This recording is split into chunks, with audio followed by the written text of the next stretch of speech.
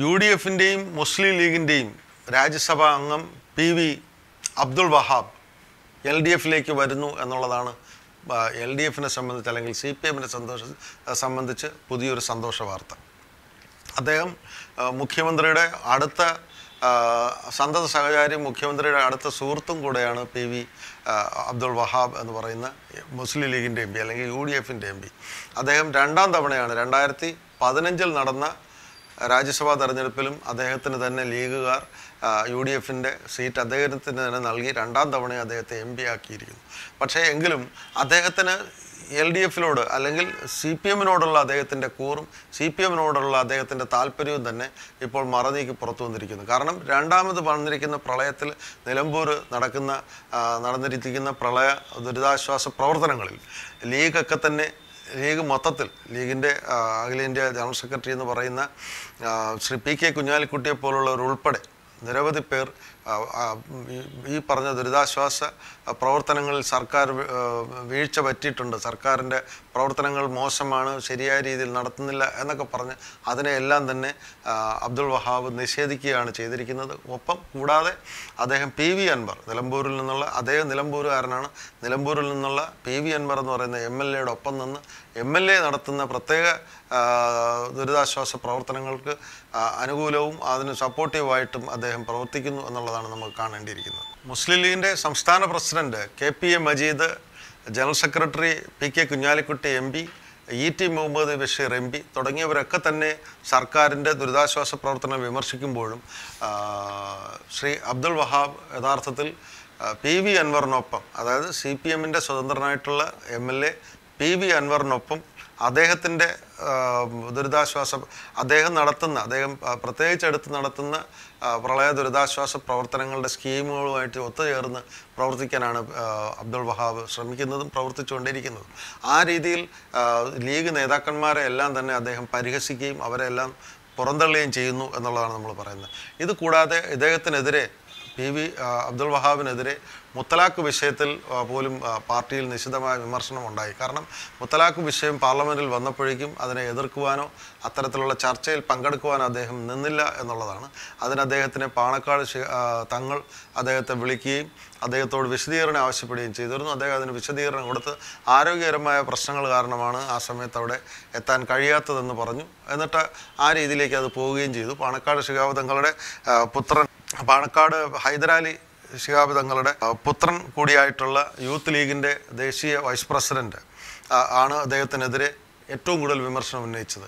ആ വിമർശനത്തെ പോലും അദ്ദേഹം വകവച്ചില്ല എന്ന് മാത്രമല്ല ഒടുവിൽ ശിഹാബ് തങ്ങൾ തന്നെ ഇടപെട്ട് അത് സെറ്റിൽ ചെയ്തു എന്ന് വേണമെങ്കിൽ പറയാം. എങ്കിൽ പോലും അദ്ദേഹത്തെ പാർട്ടിയിൽ നിന്ന് പുറത്തു പോകണം എന്നാണ് പറഞ്ഞിരിക്കുന്നത്. ലീഗിന്റെ ഔദാര്യവും സ്ഥാനമാനവും എം പി സ്ഥാനവും മേടിച്ചു വെച്ചിട്ട് ലീഗിന്റെ മറ്റു പ്രവർത്തകർക്ക് ഹാർഡ് കോറായിട്ടുള്ള വളരെ കറകളഞ്ഞ ലീഗിന്റെ പ്രവർത്തകർക്ക് പ്രവർത്തകർക്ക് ലഭിക്കേണ്ട സ്ഥാനമാണ് രണ്ടാമതും രണ്ടായിരത്തി പതിനഞ്ചിൽ അദ്ദേഹത്തിന് കൊടുത്ത് അദ്ദേഹത്തെ എം പി ആക്കി വെച്ചിരിക്കുന്നു. അദ്ദേഹത്തിന് പാർട്ടിയോട് കൂറ് പാർട്ടിയോടും മുന്നണിയോടും കൂറ് കാണിക്കാൻ കഴിയില്ലെങ്കിൽ രാജിവെച്ച് പുറത്തു പോകണം എന്നിവരാവശ്യപ്പെട്ടു അദ്ദേഹം അങ്ങനെ നിൽക്കുന്നു എന്ന് പറയുമ്പോൾ അദ്ദേഹത്തെ നമ്മൾ മനസ്സിലാക്കേണ്ടത് അദ്ദേഹം ഇപ്പോഴും നല്ല ബന്ധത്തിലാണ് മുഖ്യമന്ത്രിയുമായിട്ട്. മുഖ്യമന്ത്രിയുമായിട്ട് അദ്ദേഹം ഇപ്പോഴും നല്ല ബന്ധത്തിലെന്ന് പറയുമ്പോൾ അദ്ദേഹം ഏത് സാഹചര്യത്തിലാണെങ്കിലും അദ്ദേഹത്തിന്റെ കാലാവധി രണ്ടായിരത്തി ഇരുപത്തൊന്നിൽ കഴിയുന്നു. എം പി സ്ഥാനം രാജ്യസഭയിലെ എം പി സ്ഥാനം കഴിയുമ്പോഴേക്കും അദ്ദേഹം സ്വാഭാവികമായി സി പി എമ്മിലേക്ക് എത്തും എന്നുള്ളതാണ് ആ, രാഷ്ട്രീയമായിട്ട് ചിന്തിക്കുന്നവർക്കെല്ലാം മനസ്സിലാക്കാൻ കഴിയുന്നത്. ഇത് എന്തുകൊണ്ട് രണ്ടായിരത്തി ഇരുപത്തൊന്നിലേക്ക് എത്തുമെന്ന് പറയുമ്പോൾ വരാൻ പോകുന്ന പത്തൊമ്പത് മാസം കഴിഞ്ഞ് രണ്ടായിരത്തി ഇരുപത്തി ഒന്നിൽ നടക്കാൻ പോകുന്ന പൊതു അസംബ്ലി തെരഞ്ഞെടുപ്പിൽ പി വി അൻവറിന് പകരം നിലമ്പൂരിൽ പി വി അബ്ദുൾ വഹാബ് ആയിരിക്കും മത്സരിക്കുക എന്നും ഇനിയും എൽ ഡി എഫും സി പി എമ്മും അധികാരത്തിൽ വന്നാൽ ഒരു തുടർ ഭരണം സി പി എമ്മിനും എൽ ഡി എഫിനും ലഭിച്ചാൽ പി വി അബ്ദുൾ വഹാബ് കേരളത്തിൽ മറ്റൊരു മന്ത്രിയായി കെ ടി ജലീലിനെ പോലൊരു മറ്റു മറ്റൊരു മന്ത്രിയായി മാറും എന്ന് തന്നെ നമുക്ക് കാണേണ്ടിയിരിക്കുന്നു. അങ്ങനെ തന്നെ വിശ്വസിക്കേണ്ടിയിരിക്കുന്നു.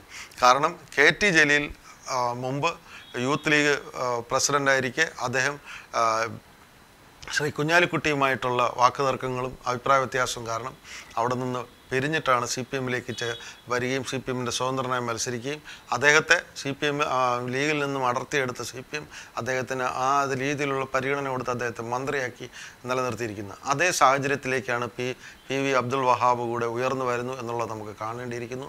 കാരണം പി വി അൻവറിന് അദ്ദേഹത്തിന് ഇപ്പോൾ കിട്ടിയിരിക്കുന്ന കോടതിയിൽ നിന്നുള്ള ശാസനകളും ശിക്ഷയും ഒക്കെ കൂടെ വെച്ചുകൊണ്ട് അദ്ദേഹം പ്രകൃതി ദുർവിനിയോഗം ചെയ്തു എന്നൊക്കെ പറഞ്ഞിട്ടുള്ള അനധികൃത നിർമ്മാണ പ്രവർത്തനം നടത്തിയിരിക്കുന്നു എന്നൊക്കെയുള്ള പ്രശ്നങ്ങൾ നിലനിൽക്കെ അദ്ദേഹത്തിന് ജയിക്കാൻ സാധ്യതയില്ലെങ്കിൽ അദ്ദേഹത്തിന് പകരം പി വി അബ്ദുൾ വഹാബിന് പി വി അൻവറിന് പകരം അബ്ദുൾ വഹാബിനെ നിയമസഭയിലേക്ക് സി പി എം മത്സരിപ്പിച്ച് ജയിപ്പിച്ച് മന്ത്രിയാക്കും. ഇനിയൊരു അധികാരം കിട്ടുമെന്നുണ്ടെങ്കിൽ തുടർഭരണമുണ്ടെങ്കിൽ എന്നുള്ളത് തന്നെ നമുക്കിതിന് കാണേണ്ടിയിരിക്കുന്നു. ആ രീതിയിൽ നോക്കുമ്പോൾ സി ഇപ്പോൾ മറ്റൊരു തരത്തിൽ ഒരു തേരോട്ടം നടത്തുന്നത് യു ഡി എഫിനെ ശിഥിലമാക്കുക. നേരത്തെ നമ്മൾ പറഞ്ഞു P J Joseph Kerala Congress എമ്മിനെ ശിഥിലമാക്കി മാണിയുടെ കുടുംബത്തെ തന്നെ ഇല്ലായ്മ ചെയ്തുകൊണ്ട് നടത്തുന്ന തന്ത്രങ്ങൾ അത് യു ഡി എഫിനെ ശിഥിലമാക്കുകയാണ് യു ഡി എഫിനെ ബലഹീനമാക്കുകയാണ് യു ഡി എഫിനെ ബലക്ഷയം സംഭവിച്ചുകൊണ്ടിരിക്കുകയാണ്. അങ്ങനെ പി. ജെ. ജോസഫ് വഴി അവിടെ ഒരു തന്ത്രം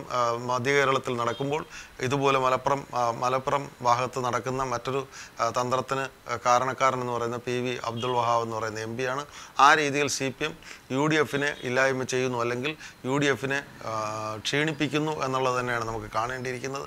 അങ്ങനെ നോക്കുമ്പോൾ യു ഡി എഫിലേക്ക് യു ഡി എഫിൽ നിൽക്കുന്നവരുടെ എണ്ണം അല്ലെങ്കിൽ പ്രബലന്മാരുടെ എണ്ണം കുറഞ്ഞു വരികയും അവരെല്ലാം അങ്ങനെയുള്ളവരെല്ലാം തന്നെ രാഷ്ട്രീയവും സാമ്പത്തികമായ ശക്തിയുള്ളവരെല്ലാം തന്നെ നേതാക്കന്മാരായിട്ട് സി പി എമ്മിലേക്ക് വരികയും സി പി എം രണ്ടാമതൊരു ഒരു ഊഴം കൂടെ മന്ത്രിസഭയുടെ ഒരു തുടർഭരണം കൂടെ ആഗ്രഹിക്കുന്നു അല്ലെങ്കിൽ അതിലേക്ക് അടുക്കുന്നു അല്ലെങ്കിൽ അതിലേക്ക് പ്രയത്നിക്കുന്നു എന്നുള്ളതിന് തെളിവായിട്ടാണ് നമ്മളിതൊക്കെ കാണേണ്ടിയിരിക്കുന്നത്. ആ രീതിയിൽ നോക്കുമ്പോൾ പി വി അബ്ദുൾ വഹാബ് അടുത്ത അസംബ്ലിയിൽ എം എൽ എയും മന്ത്രിയും ആകാനുള്ള സാധ്യത കൂടെ തള്ളിക്കളയാൻ പറ്റില്ല. എന്തായാലും അദ്ദേഹം ലീഗുമായിട്ട് നല്ല ടേംസിലല്ല എന്ന് തന്നെയാണ് നമ്മൾ കാര്യങ്ങളെല്ലാം വ്യക്തമാക്കുന്നത്. കെ ടി ജലീലിന്റെ ബന്ധു നിയമന കാര്യം വന്നപ്പോഴും ലീഗ് അദ്ദേഹത്തെ ബഹിഷ്കരിക്കണമെന്ന് പറഞ്ഞപ്പോഴും അദ്ദേഹമായിട്ടുള്ള വേദികളിലെല്ലാം തന്നെ പി വി അബ്ദുൾ വഹാബ് പങ്കെടുത്തിരുന്നു. ലീഗ് നേതാക്കന്മാരുടെ ശാസനകളെ ഒന്നും അദ്ദേഹം വകവച്ചില്ല. ആ രീതിയിലൊക്കെ നമ്മൾ നോക്കുമ്പോൾ അദ്ദേഹം തീർച്ചയായും സി പി എമ്മിനോട് ആണ് കൂടുതൽ കൂറ് കാണിക്കുന്നത്. അങ്ങനെ നോക്കുമ്പോൾ പി വി അബ്ദുൾ വഹാബ് വളരെ വൈകാതെ തന്നെ സി പി എമ്മിന്റെ സ്ഥാനാർത്ഥിയായിട്ട് അസംബ്ലിയിൽ മത്സരിക്കും എന്ന് നമുക്ക് കാണേണ്ടിയിരിക്കുന്നു.